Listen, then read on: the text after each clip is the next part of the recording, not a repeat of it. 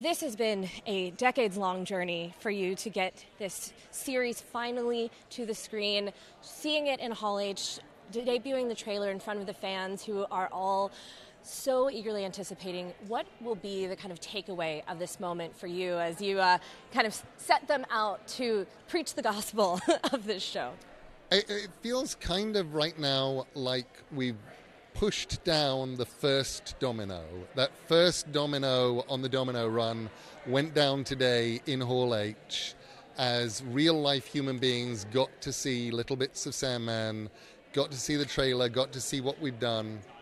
And now we're just counting down to August the 5th, and people will see it I hope they love it. I love it. I'm so proud of what we've made. I think it's Sandman. I don't think it could have been more Sandman.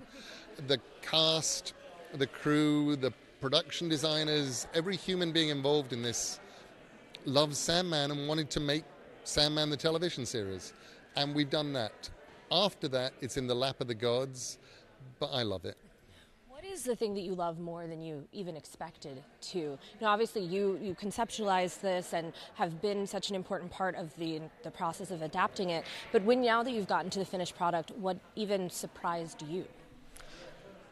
Crying when I watched episode six. I did not expect. I, I'm I'm sitting there with the finished episode, watching it without even the finished visual effects and stuff done and I realized that I've got tears running down my cheeks.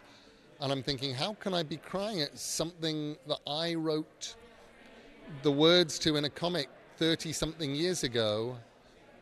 How can this be emotionally moving? And yet it was hugely emotionally moving for me. And so that, I think, of everything, that surprised me the most that I I was in the audience suddenly for this thing that I'd made and made in so many different ways over the years.